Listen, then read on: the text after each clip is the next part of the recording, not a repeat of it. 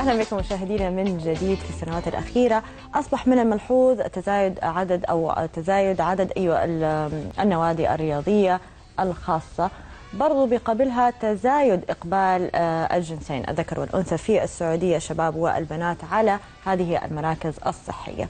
هذا يخلينا نتساءل هو هل هو السبب ارتفاع الوعي الصحي عند المجتمع ولا هناك اعتبارات أخرى مثل عدم وجود مثلا وسائل ترفيه كافية. هذا السؤال أتوجه به إلى ضيفي هنا في الاستوديو وهو المدرب الرياضي الدكتور بدر الشيباني. أهلا وسهلا بك. أهلا وسهلا بك. طيب هذا يعني إحنا فعلا أنا ما يعني صرت أشوف بين نادي ونادي في نادي وصار يعني lifestyle أكثر. كل ما أتكلم مع أحد إنه يقول لي أنا خارج من النادي رايح الجيم جاي من الجيم.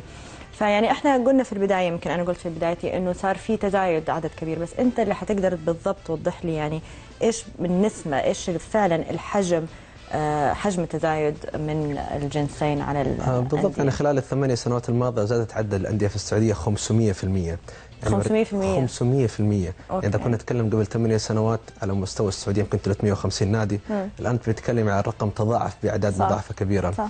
آه يمكن أكبر دليل أنه قبل 10 سنوات كان الناس بتستحي تلبس لبس الرياضة وهي رايحة النادي مم. تلاقي واحد جايب التوب يدخل النادي يفسخ توب ويلبس لبس الرياضة الآن تغير الموضوع بطريقة كبيرة صرت تشوف الناس في الممشى بتمشي بلبس الرياضة صرت تشوفي حتى الناس بثيابه لكن لابس جزمة رياضة بيحاول يمشي في المول وبيحاول صار شيء إنه يتفاخر فيه إنه هو خارج بالضبط. من الجيم أو رايح الجيم يعني صحيح صحيح الولد ال cool صحيح. طيب يعني هل هذا يعني نعزيه زي ما أنا قلت السؤال في سؤالي يعني هل نعزيه إلى إنه فعلا ارتفاع في نسبة الوعي الصحي عند عند الشباب والبنات ولا هو فعلا ضعف في وسائل الترفيه هي هي قد تكون الاثنين. يعني في السعودية مثلا إحنا ما عندنا cinemas ما عندنا أماكن كثيرة للشباب يمكن يروحوا لها. فصار النادي destination صار محطة يروح يقعد فيها الشاب يقضي فيها وقته. عالميا الشخص يقعد في النادي ساعة. في السعودية حسب الاحصائيات اللي عملناها يقعد في النادي ساعتين إلى ثلاث ساعات. لا أكثر. أنا بشوف إنه خ... يقضوها يعني خلاص تتقضى يومهم كلهم هناك صحيح يتكلموا صار نتكلم على متوسط ثلاث ساعات يقعد في النادي فهذا شيء كثير. طبعا. بيتكلم على قولتي social بي بي بيتفرج مباراته بيتكلم مع أصحابه بيتمرن. بشوف بيدخنوا كمان. ماني فاهمة إيش الموضوع إيه. فهذا كله بيعطيكي دليل انه إنه في رغبة للشباب بتفريغ طاقاتهم في أماكن. معينة. من الناحيه الثانية ال social media وسائل التواصل الاجتماعي والمبادرات اللي بتصير فيها من توعية بالسمنة من توعية باهميه الرياضة هذه كلها أثرت بالذات على شريحة الشباب اللي ما بين 18 إلى 25 سنة هم أغلب الناس اللي بيروحوا بين بين أنا لأنه كنت بسألك بالضبط إيش الشريحة العمرية اللي هي يعني بتشوفوا في عندهم إقبال من 18 إلى 25 سنة هذه أكثر شريحة بتقبل على النادي بحكم إنها ما زالت في مرحلة دراسية مرحلة جامعة عندها وقت. الشريحة اللي بعد كذا اللي هي من عمر 25 إلى 35 سنة هم هذول الناس اللي صارت خلاص الرياضة جزء من حياتهم اليوميه جزء من ال lifestyle هذا مستمرين بطريقة إنه خلاص أنا صار جزء من عملي بيتي أولادي النادي. احصائيا إحنا عندنا الشخص اللي بيكمل ثلاثة أشهر في النادي فهذا معناه إنه خلاص التزم إنه طبعا. يداوم في النادي حتى صحيح. لو انقطع بعد فترة بيرجع مرة ثانية صحيح. للنادي طب أنت كمدرب رياضي يعني أنت يمكن تعرف بالضبط إيش هو المفيد وما هو المفيد في هذه المراكز. إحنا يمكن لسه يعني ما نعرف بالضبط. ف يعني بتأخذنا مثلا الأسماء الكبيرة أو الأسماء المشهورة. والآن انتشرت عندنا في البلد الكثير من ال branches حقت مثلا نوادي عالمية معروفة وكله بيدخل فيها عشان يعني انسياق وراء الاسم. هل هذا صحيح برأيك؟ بالضبط وجود الأسماء الكبيرة هذه في النهاية هي اللي أعطت ال boost واعطت الدافع الانديه المحلية أنها تبدأ تتنافس. وجود هذه الأندية العالمية بتعطي دليل بالذات إذا كانت عندها خبرة وعندهم system وعندهم برامج مجربة في في عشرات السنين وفي دول مختلفة فباب أولى أنها آه تكون لائقة للمجتمع السعودي. آه طبعا أهم نصيحتين دائما أديها للشخص اللي بيختار نادي. المكان سواء لازم يكون قريب من بيتك أو قريب آه من من من عملك عشان يتشجع عشان تتشجع إنه يروح. بغض النظر عن اسم النادي لازم. يكون مكان دائما يعطيك حافز إنك تتشجع تروح النادي والصفة الثانية إنك تكون مرتاح في النادي. فإحنا دائما بنشجع الناس روح جرب يومين ثلاثة في النادي تحس إنك أنت مرتاح مرتاح مع المدربين مرتاح مع الجو العام حق النادي. صح. إذا حسيت براحة اشترك يعني لا تشتري سمك في موية على قولتهم تروح يعجبك الشكل كل النوادي بتوفر هذا الموضوع إنه جرب يومين ثلاثة كلها لكن أغلب الأندية الكبيرة بتعطيكي هذا الخيار إنك تجربي وتتمرني وتحسي بالجو العام للنادي. إذا حسيت إنك مرتاح اشترك على طول. طيب أنا كمثلا وحده أبغى أشترك لأنه ما ما- ماني والله ماني إنسانة مثلا سمعت عن السمنة ولا عندي الحمد لله مثلا أمراض ولا شيء. بس رايحة عشان I keep myself fit آه، أكون صحية أكثر. فإيش ال إيش ال يعني إيش المفروض أنا أراعيه في نادي مثلا غير القرب أو البعد؟ إيش الأجهزة المفروض؟ هل المفروض يعني أنا بشوف كمان إقبال شديد على كل واحدة تقول أنا عندي PT أو personal trainer أو مدرب خاص. هل هذا محبذ؟ هل هذا أنتم تنصحوا به في الأول؟ طبعا ال- ال- الموجة الجاية من الأندية والموضه الآن من الأندية زي ما إحنا عندنا سوبر ماركت وعندنا بقالة حقه الدكان صحيح. عندنا سوبر ماركت وعندنا هايبر ماركت. صحيح. فأغلب الأندية ما زال الآن خلال السنوات الجاية القادمة حيصير في تخصص أكثر. فحتلاقي مثلا أندية مخصصة للناس اللي هم كبار في السن حتلاقي أندية مخصصة للأطفال. هذا إحنا لسه ما عندنا. بدأت فيها بدأت. بدأت ال studios الصغيرة تنتشر في جدة وفي الرياض. بدأت الاستوديو اللي بتعلم حصص ال- ال- الأيروبكس زي الزومبا وزي البيلاتس صح. وزي زي, زي فحسب رغبة الشخص في النهاية يعني هل أنا حرتاح أشتغل أو أو أتمرن في استوديو صغير مع مدرب وألاقي الاهتمام الكامل أو أنا شخص والله أنا أبغى النادي عشان أجرب كل الخدمات الموجودة فيه من مسبح من سونا من جاكوزي من أندية. هل أنا رايح socializing أجتمع ببغى أشوف ناس كثير عشان أقعد معهم أتكلم؟ أو أنا أبغى أروح نادي متخصص فقط بالتمرين ويعطي آه، أغلبية تركيزه وجهده للتمرين، إحنا عندنا في النادي متخصصين في التمرين، يعني الشخص اللي بيجي يقول لي والله أنا جاي عشان أتمشى ولا أقعد ثلاث ساعات أربع ساعات أقول له نادينا ما ينفعك، إحنا نادينا إذا أنت جاي serious ويعني تبغى تتمرن تبغى تستفيد تيجي تاخذ تمرينك؟ بس مو الأفضل إنه. في يكون مدرب لأنه مش عشان مش عشان إنه والله عندي PT لا بس إنه أصلا أعرف إيش اللي اللي أنا أحتاجه. يمكن أقعد أسوي أمشي أنا بس أشوف الناس تمشي على ال treadmill بالساعات. يمكن انت ما انت محتاجة تمشي عليه.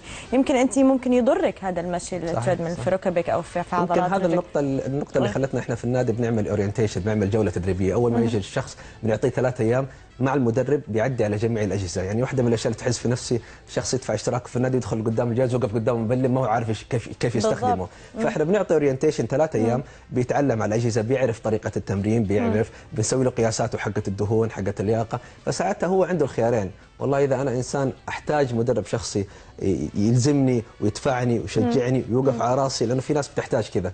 ممكن أدفع المدرب شخصي آه، ألتزم معه. وفي شخص آخر يقول لك لا أنا والله بتابع مثلا برنامج أخذته من من website برنامج عندي بال application بالجوال صارت الناس دحين بال application بالجوال بيشوف تمارينه. أو عندي آه، برنامج تدريبي مسبق أخذته من شخص آخر فهي الخيارين موجودة. لكن احصائيا زي ما أنت قلتي أغلب الناس اللي بتستفيد اللي بتاخذ التدريب الشخصي. 80% من الأشخاص اللي بيستفيدوا أنت بالنادي. كمدرب تنصح آه، الناس إنها تاخذ مدرب أكيد، شخصي؟ أكيد، أكيد، مو إنه. تدخل مثلا كذا وتجرب؟ أكيد. أكيد بالذات في البداية يعني أول ثلاثة شهور تتدرب مع مدرب شخصي يوريك الأساليب المناسبه للتمرين يعطيك النصائح المهمه للتغذية بيساعدك على إنه إحنا بي إحنا بنسميها to push to the edge يعني يدفعك إلى إلى حافه ال- اللي دائما أنت إنسان مكسل مثلا في البيت أروح النادي ما أروح أروح ما أروح تتصل عليك مدرب تعال دحين حتقوم وتروح صح. في التمرين بتوصل مثلا لعد العاشرة وتكسر إذا كنت لوحدك لكن ما دام معك مدرب يحفزك ويشجعك حتلاقيك صح. نفسك آه في استمرت ظاهرة التمرين. جديدة كمان يعني أكيد ما تخفى عليك اللي هم مد- ال- المدربين الخصوصيين اللي بيجوا للبيت ويصير عندك أنت يعني هو ما حيكون عندك نفس الأجهزة الموجودة في الجيم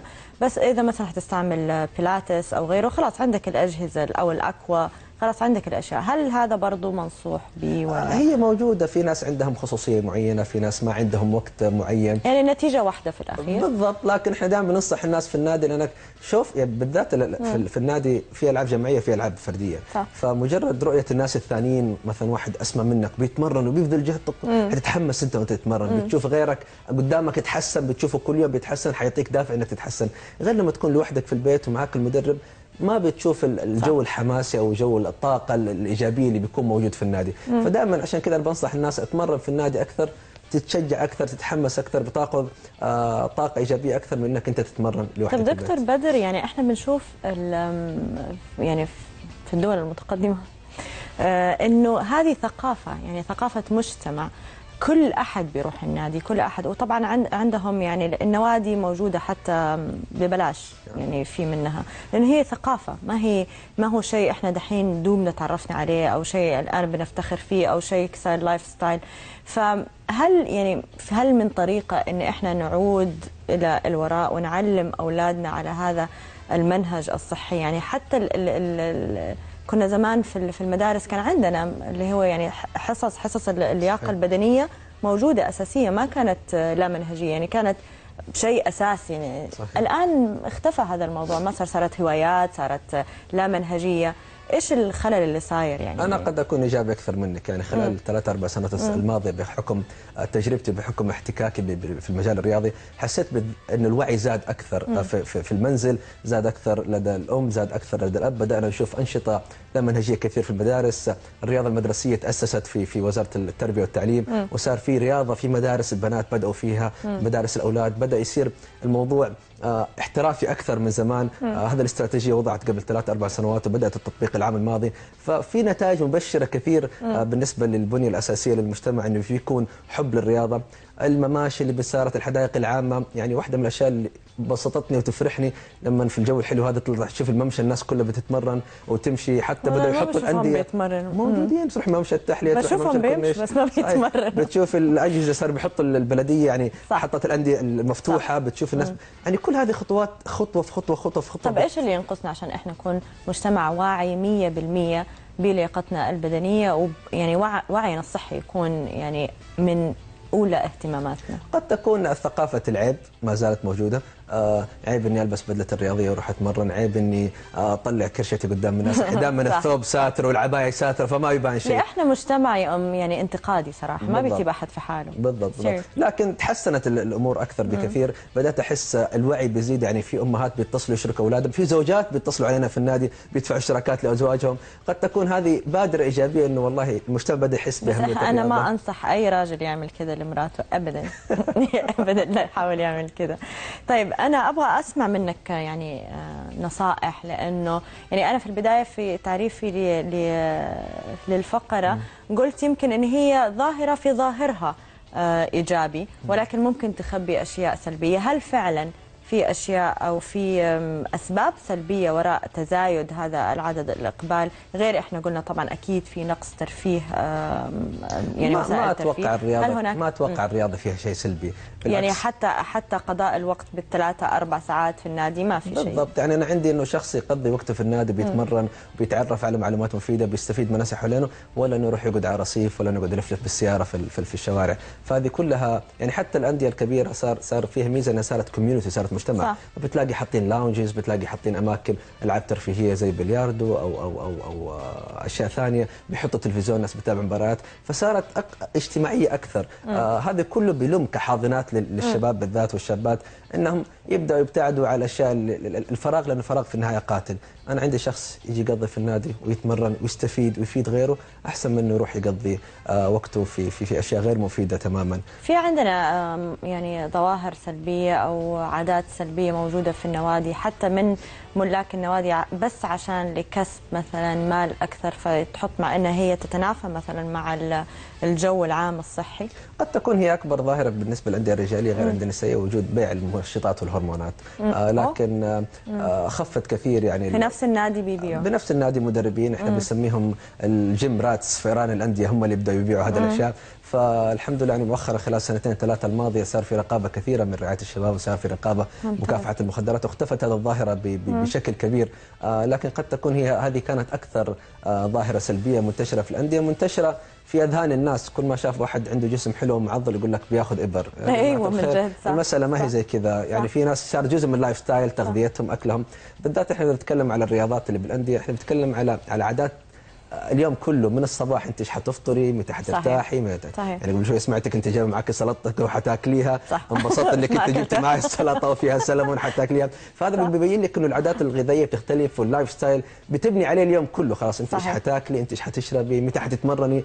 تنسقي وقتك دوامك. فهذا كله شيء دكتور بدر أنا أشكر تواجدك معنا وأشكرك إنه أنت يعني تكلمت على هذه الظاهرة بطريقة إيجابية يعني وإن شاء الله إن هي فعلا ارتفاع في الوعي الصحي لمجتمعنا. أشكر تواجدك معنا ثانية مشاهدينا إحنا بكذا بهذه الفقرة وختامها وصلنا كمان لختام حلقة سيدتي لليوم وأكيد لقائنا يتجدد معكم في الغد.